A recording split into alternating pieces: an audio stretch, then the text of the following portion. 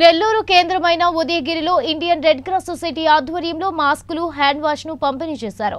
Red Cross Society Udayagiri branch chairman తహసీల్దార్ భీమా ప్రసాద్ చేతుల మీదుగా ఈ కార్యక్రమాన్ని ప్రారంభించారు.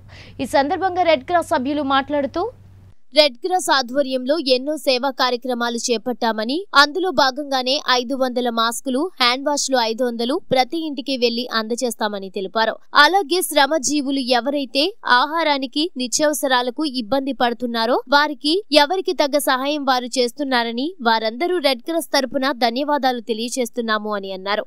ఈ కార్యక్రమంలో గాజులపల్లి రామిరెడ్డి ఫారూక్ అలీ దస్తగిరి అహ్మద్ గూడూరు వెంకటేశ్వరరావు తాజుద్దీన్ వారితో పాటు రెవెన్యూ సిబ్బంది పాల్గొన్నారు. ఇండియన్ రెడ్ క్రాస్ సొసైటీ జిల్లా నుంచి అందరికీ కూడా ఈ కరోనా వైరస్ వ్యాప్తి నివారణ ఉద్దేశమై ప్రజానీకాన్ని మొత్తానికి కూడా ఈ మాస్కులు పంపిణీ చేయమని అట్లాగే శానిటైజర్ పంపిణీ చేయమని చెప్పేసి ఆ జిల్లా యూనిట్ నుంచి మన ఉదయగిరి మండల రెడ్ క్రాస్ సొసైటీ యూనిట్కి ఈ రావడం జరిగింది.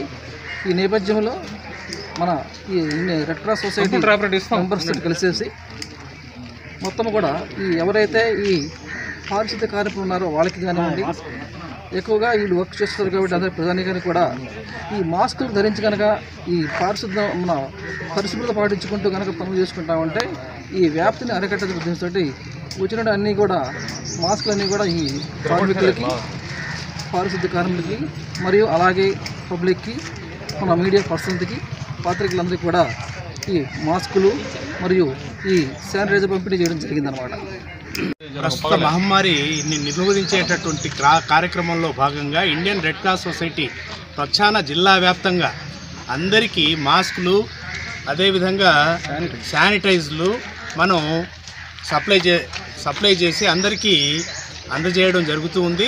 దాంట్లో భాగంగా ముఖ్యంగా శ్రమజీవులందరికీ శ్రమ సౌందర్యం కలిగినటువంటి వారందరికీ పారిశుద్ధ కార్మికులు కానివ్వండి పాత్రికేయ మిత్రులు కానివ్వండి అదేవిధంగా శ్రమ చేసేటటువంటి వారందరికీ ఈ మాస్కులు ఇవి సప్లై చేయడం జ- శానిటైజ్ శానిటైజర్లు సప్లై చేయడం జరుగుతూ ఉంది అందరికీ అందజేయడం జరుగుతూ ఉంది.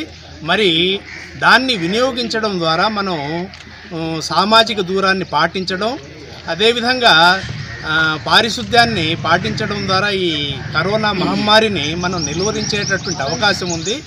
ఈ కరోనా మహమ్మారి వచ్చిన సందర్భంగా లాక్డౌన్ పాటిస్తూ ఉన్నందువల్ల శ్రమ సౌందర్యం కలిగినటువంటి వాళ్ళందరూ వాళ్ళు పని లేకుండా ఉన్నటువంటి ప్రస్తుత పరిస్థితుల్లో ఎంతోమంది మహానుభావులు వాళ్ళందరికీ ఆకలి తీర్చడానికి చేస్తున్నటువంటి ప్రయత్నాలు వాళ్ళందరికీ వందనాలు.